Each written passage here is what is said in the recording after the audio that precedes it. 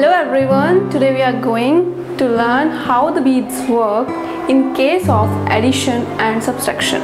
If we want to add something, then the beads come toward the center line or the beam line or we call it answering bar.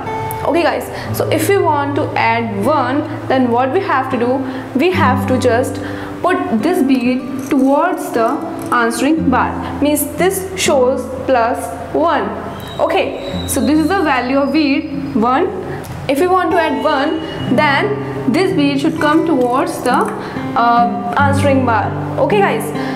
And when beads separate from the answering bar it becomes minus. Okay it shows subtraction. When beads come separate when beads separate from the answering bar it shows the subtraction